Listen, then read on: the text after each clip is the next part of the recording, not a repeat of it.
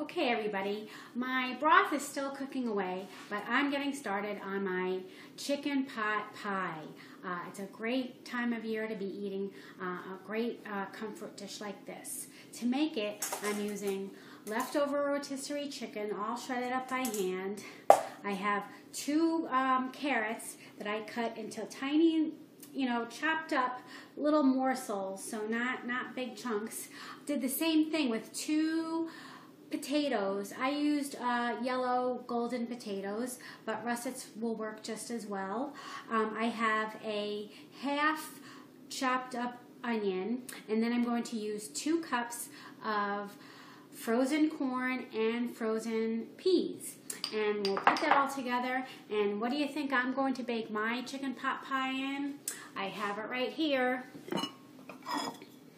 It is the Pampered Chef Round Covered Baker. Um, for the ingredients and the amount of ingredients I have, this is the perfect size for what I'm making. But if you have a whole entire chicken and you're feeding perhaps about six people, the deep covered baker would be better option for you. But I'm using this and I think with the stoneware on the inside and a nice brown crust on the outside, this is going to be perfect. The crust I'm using is an already um, uh, frozen variety that you find in the um, dairy aisle is where you find the frozen pie crusts. So what I'm going to do is melt some butter in a deep frying pan.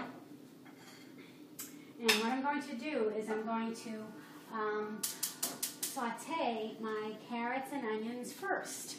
And um, the crispiness and um, caramelization from the onions will uh, bake itself into the uh, pot pie a little, uh, and you'll get a little more flavor that way than if you just boiled everything together. Because after I saute just those carrots and onions, then I'll add some more water to the frying pan, cook up the potatoes and veggies a little bit, then mix it all together with my uh, meat, and after that is when we'll make a velouté sauce and pour that all over the uh, inside of our pot pie. I'll cover it on top with the pie crust and bake it until it's golden brown. It's going to be great.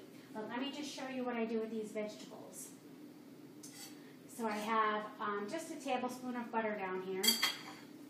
And uh, just to be on the safe side that the butter, butter doesn't burn, I'm going to add a little bit of uh, oil. Have you ever done that? Um, things in a combination of both oil and butter.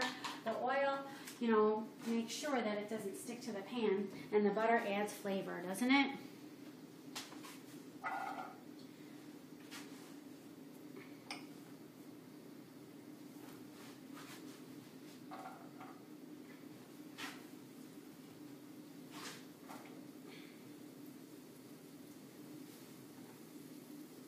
Okay, it's going sizzle, sizzle, sizzle.